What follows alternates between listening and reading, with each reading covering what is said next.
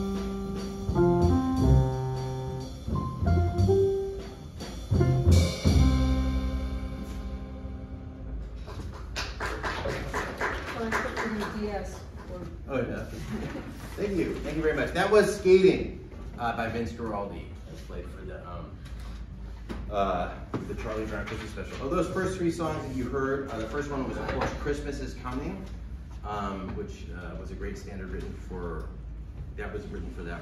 Um, Hark the Herald Angels Sing was, uh, we did our version of it, and Vince did a, a, very, very similar version for the album, and that was just Skating, which was composed uh, for that special as well. Um, my name is John Lang, and it's really my deep pleasure to present the concert of Vince Guaraldi's uh, Merry Christmas, Charlie Brown today to you. Um, I'd like to thank the library for hosting us today. It was really nice of them. And um, uh, I'd like to introduce you guys to the, the, musicians I have the honor of playing with today. On piano, please welcome Roberta Piket. Great jazz pianist, very lucky to be here today. And uh, a drum legend, actually, Tom Melito, who uh, was very, really lucky today. Um, the music we're playing for you today is very special. Um, it seems to go more popular every year which for jazz music is something of a miracle. that doesn't really happen much. Um, and, and why is that? Uh, a lot of people, there's a lot of, I read a few articles online. Every year somebody writes um, something about the enduring nature of this music. And um, I think the, the individuality of this music emanates from the composer Vince Guaraldi. And I'm gonna talk a little bit more about him personally later, but right now I was gonna talk about the music. Um, this is jazz music for sure, which is a uniquely American phenomenon. And uh, the sounds in this collection have their roots in jazz, but like America, the elements are much more diverse than just jazz. Um, for example, uh, in a few of these numbers, and you just heard two great examples of this actually, Vince uses a 1-4-5 as a solo section. And this is not, this is not from the jazz idiom at all. This is, has its roots in Afro-Cuban music uh, which Vince knew very well because he played in one of the great Afro-Cuban bands, the Cal Tjader band in the early 50s. Um, and could, Roberta, could you play that 145 for them real quick? Yeah, yeah, the back and forth, you hear that, and that's not a jazz thing. That doesn't have any roots in, in, in jazz really as a, as a solo vehicle. That comes directly out of Latin music. And I think um, anyone who had Latino roots at that time um, would have picked up on this subconsciously, and I think that's one element that helps break through to a vast, vast audience. This, this music has an international audience. And similarly, um, with the trio swings quite a bit on the album, and but you also hear other rhythms, not just Afro-Cuban rhythms. You hear uh, bossa nova quite a bit. Tom, could you give them a bossa nova beat?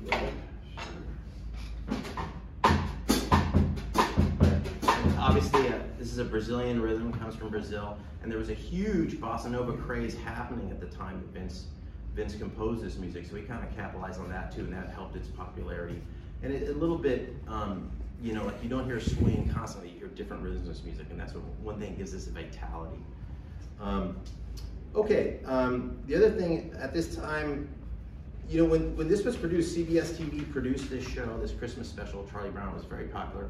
And they could have called any jazz comp composer they wanted to. They could have called Miles Davis or Duke Ellington, and this Charles Mingus, for that example, could have been called for this. That would be interesting to hear the Peanuts, the Peanuts version of uh, Charles Mingus. But anyway, um, but why why did they choose Vince? And I think that one of the answers is this this music has a sort of childlike simplicity. I don't mean it's simple or stupid or easy, but it has this beautiful simplicity in it, which which is immediately recognizable to anybody who does it. And how is that possible? Um, Vince Guaraldi was very well steeped in American popular song. His uncles, two of his uncles ran two very popular dance bands in the Bay Area. He grew up listening, like from a very young age, listening and hanging out, listening to music. So he knew American popular song back to front. And all these melodies are, are simple and memorable for a reason because he you know, grew up with that idea like if you went to a show, you had to be able to sing the melody by act the intermission, you had to be able to sing all the melodies. It was it was the idea, and so he had this in his head. And all these these melodies are just beautiful and simple, and uh, they have just a, a, memorable quality.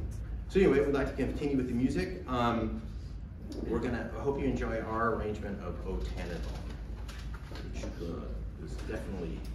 And we're we're doing this uh, concert, I think, in a, in a way that Vince would have appreciated. We're definitely playing many of this, the melodies he had and his harmonies and his rhythms, but we're also giving it a little bit of our own um, interpretation, which he would have done if he was here today. He would have he wouldn't have played these exactly like he did in the album, since the ethos of jazz is to kind of put your imprint on anything you do, and we're certainly doing that today.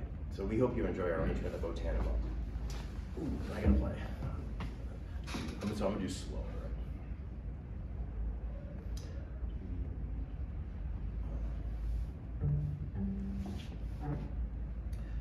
One, two, three.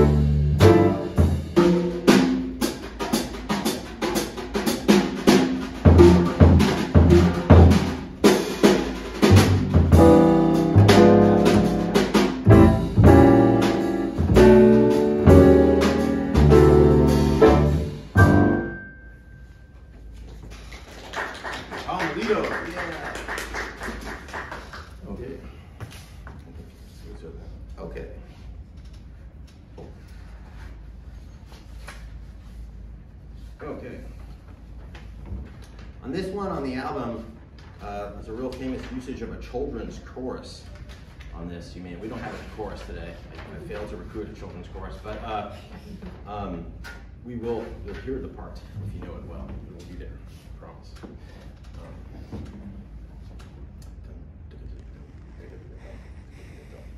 Um, one, the two, oh one, two,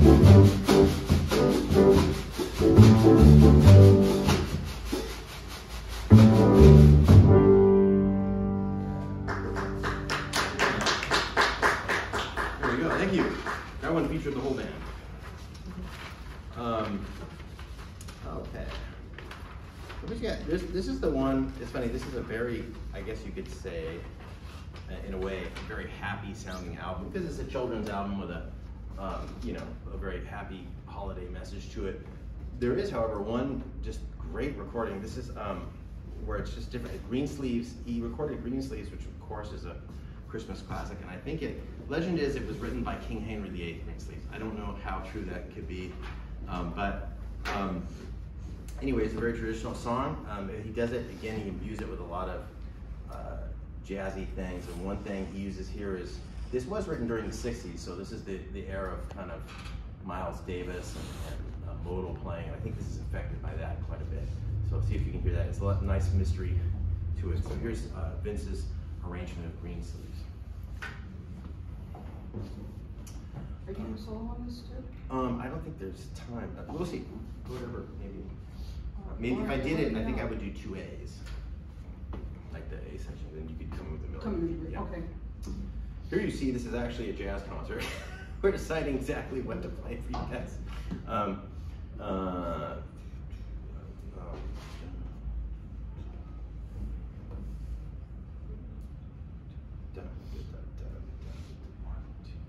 One, two, three, a two, two,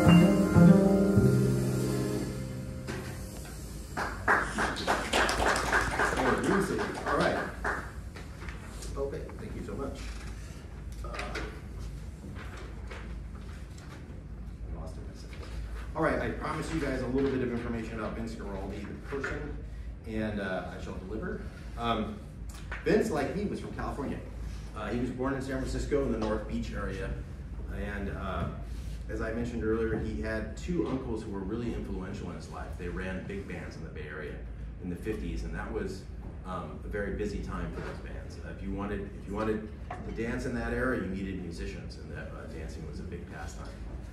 Um, and as I said earlier, he learned, uh, he started playing piano at a very early age, like eight years old, and began hanging out with friends. So he learned from very, very early on the standard repertoire of jazz.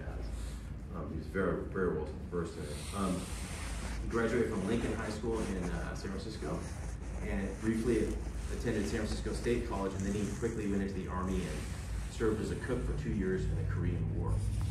Um, his first official recording was in November 1951 with um, as a leader, and then very soon after that he joined the Cal Tjader Band. But just when the Cal Tjader Band was a trio, it was very small. It was piano, vibes, I think one percussionist. Um, and he then left the, the, the Cal Tjader trio and joined and uh, played in various jazz ensembles around the Bay Area and the West Coast in the early 50s, and he recorded a couple albums on his own, which were received well, but not internationally recognized or sold incredibly largely. But the big break for him came when he rejoined Cal Tjader in 1956 and was a real integral part of a great band. Uh, it was Cal Tjader, the great vibraphonist himself, and Mongo Santa Maria on congas and Willie Bobo on timbales, and, and that's there's just a quartet. And there's a great album called the Latin the Latin Concert that those guys recorded, and it's one of the best. Um, I played Latin jazz for a long time in the city, and it's one of the best standard Latin jazz albums everybody has to know. It's an incredible, incredible group and incredible album. If you ever get a chance to listen to it, I highly suggest it.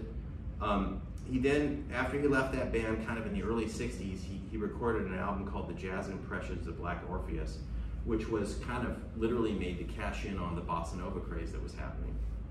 And he, he made a, a recording of a famous bossa nova, and I think it was just Black Orpheus, or what we call uh, Day in the Life of a Fool is the name of the actual song. But the B-side of that record was called, a song he wrote called Cast Your Fate to the Wind. And no one thought much of it, but a DJ started playing it, and people heard it and started calling in, and it became a pretty a pretty big hit. And um, it came, it was spent 19 weeks on the top 100 chart, and it peaked at number 22, which is a really unusual feat for a jazz instrumental, especially um, at that time. You know, the Beatles are hitting around this time. It's it's pretty much um, it's a, it's an anomaly almost.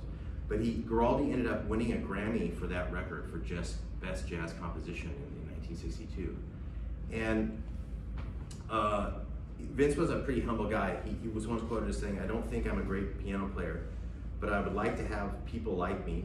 And to play uh, pretty tunes and reach the audience. I hope some of those tunes will become standards.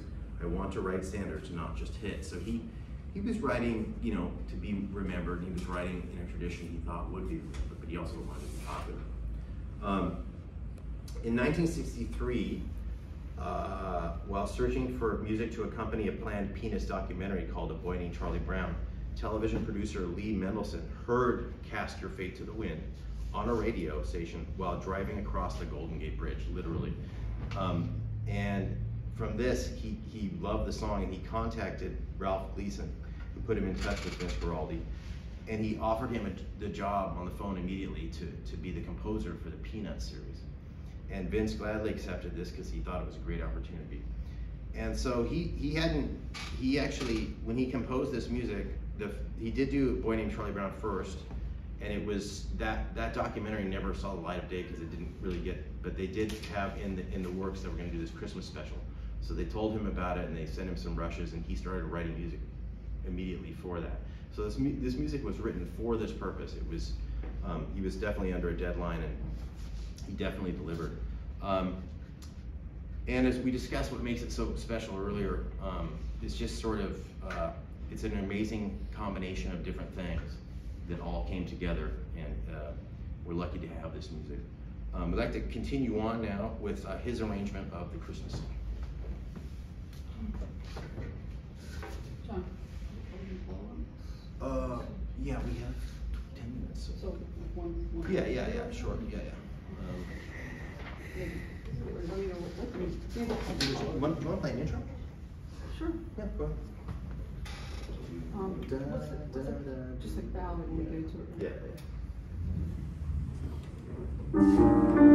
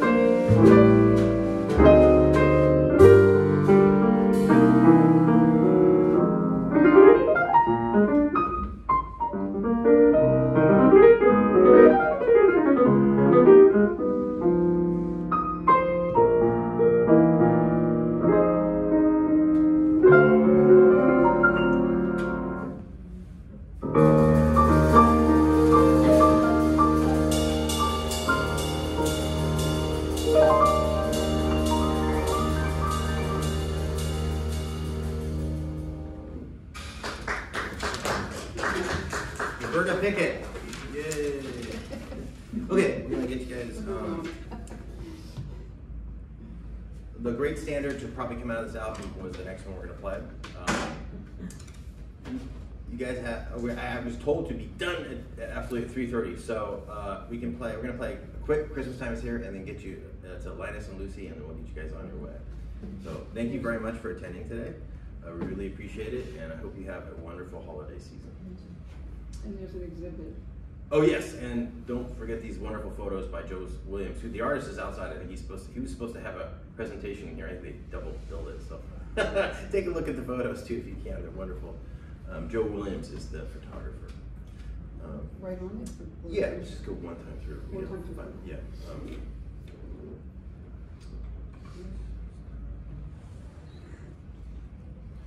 one, two, three, a two, two, three.